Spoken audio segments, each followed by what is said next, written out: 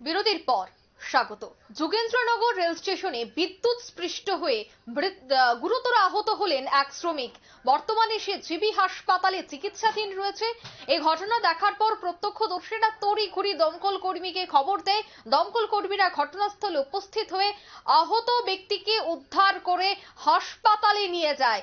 বর্তমানে তিনি গুরুতর আহত অবস্থায় জিবি হাসপাতালে চিকিৎসাধীন রয়েছেন।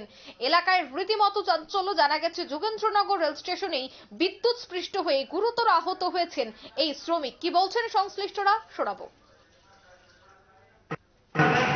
एक ऑटो वाला इधर लेके आया अभी हालत कैसा है अभी तो ठीक है ये क्या लाइन का अ, अ, काम करते हैं हाँ लाइन का कैसे काम करते हैं मतलब ये क्या रेगुलर स्टाफ है मतलब कॉन्ट्रैक्ट बेच कैसे करते हैं हम लोग भी एल एम टी का है तो अभी हालत कैसा है?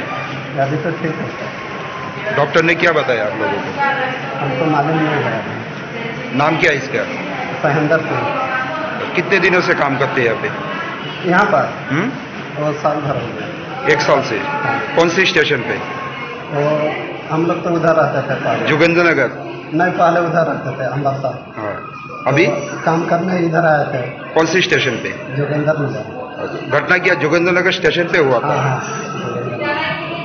नाम क्या बताया सहेंदर सिंह उम्र कितना है छब्बीस साल घर झारखंड जो आपका जो मतलब लीडर আপনারা শুনলেন তাদের বক্তব্য যোগেন্দ্রনগর রেল স্টেশন চত্বরে ঘটে এই বিপত্তি বিদ্যুৎ স্পৃষ্ট হয়ে গুরুতর আহত হয়েছেন এক শ্রমিক আহত শ্রমিক বর্তমানে জিবি হাসপাতালে চিকিৎসাধীন নিয়ে নিচ্ছে ছোট্ট একটি বিজ্ঞাপন বিরতির সঙ্গে থাকুন